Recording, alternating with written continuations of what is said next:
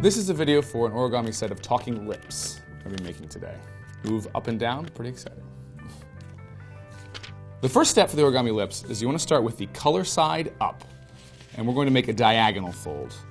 Now, the important part about a diagonal fold is you want to make sure that these two points meet exactly on top of each other. So not just off to the side a little bit, but exactly precisely on top.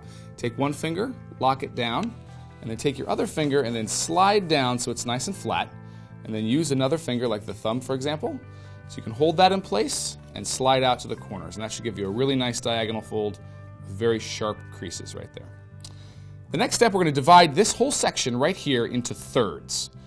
So in order to do that, we sort of have to play a little bit of a guessing game. We're going to fold this over to what looks like it's about an equal third mark. Go ahead and give that a try. And then make a little pinch mark. And then bring this side over to that same pinch mark and give that a shot. And if those two line up, see I'm a, I'm a little bit long on this side, so I can sneak this back just a little bit and make adjustments as you need so that you can get that nice one-third section, just like that. So both of those flaps are at an equal distance of one-third. Next step, we're going to take these points, we're going to fold them up to that spot right there. Right like that. It should lie right on top. It should make a nice triangle all the way across. And the same thing on the other side, just like that. Next, we'll take these two points and fold them down so that they both go to the corner on the bottom side of the model. Like that. Next, we're going to do what's called a kite fold or an angle bisector. We're going to take this edge right here and we're going to bring it up right up to this side. And the way that looks is just like that. So it'll, it'll line up all along that top edge. We do it again on both sides. Just like that. So those are all the pre-crease folds that we need. Next, we're going to open up the entire model again. Nice and flat. And we should have a lot of different folds that we've created. What we're going to focus on are these two edges right here.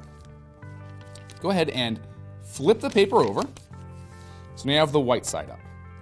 We're going to take both corners, on the left and the right, and we're going to fold them in to this little intersection point right there. Show you exactly what that looks like. Just like that. It's a tiny little triangle. We're going to do it on both sides. Just like that. The next fold is called a rabbit ear fold. And the way a rabbit ear fold works is that we've taken, we've made this fold right here, and we've made this one as well. What we're going to do is we're going to make both of those at the exact same time. So you can sort of pinch on the outside of these two edges, and you see how that brings both of those two corners, these two edges, right up to the middle to make a nice straight line right there. And it makes a little triangle right here as well. It's called a rabbit ear fold. So do that on that side, and then also again on this side. You fold both of those over. Just like that. Next, flip the paper back over again. And now there's two lines that are going down the entire side of the paper. We're going to fold both of those all the way over, just like this. And the nice thing about paper is you can fold exactly on that crease line. So try and make it so that it's not just close, but the exact crease right along that edge. And then the same one right over here. And it's to below, it's to be a little bit farther than the other edge. So it's okay if the two of them overlap. They're going to overlap just a little bit. All right, so now we have the two sections that are going to be the lips of the model. And what we're going to do is we're going to pick them up while folding the entire model in half. The best way to explain this is to think about all the different ridges on the paper. This one right here is going to be a mountain fold, so it's folded in. This one right here is going to make that little valley little valley edge like that. And we want that to be on the exact, to be on both sides, to look the exact same way.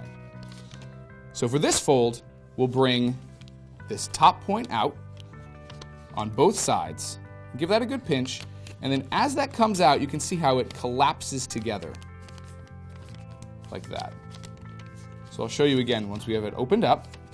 You can see how we folded the entire model from the bottom up to the top, and then brought these triangle sections out to the edge. And it's using all of the creases we've already made. So we're, we're not going to be making new creases for this. We're just going to be changing the direction of some of the ones we already have. And the way that works, as you can see now, we already have that talking motion right there with the lips. You can shape them as much as you want, make them a little bit more full. And that gives you the talking motion. And then we're going to do a couple finishing steps. We're just going to take these outside triangles on the top and the bottom. We're going to fold them all the way up so that it, all the color is uh, covered up right there. So it goes just white right there. Do that on one side, also on the other side, like that. And then finally, to lock it in place, we're going to take this bottom edge, we're going to fold it right up to the corner of the lips, just like that. Repeat it on the other side. Sort of locks them in place. And that gives you your finished model for the talking lips.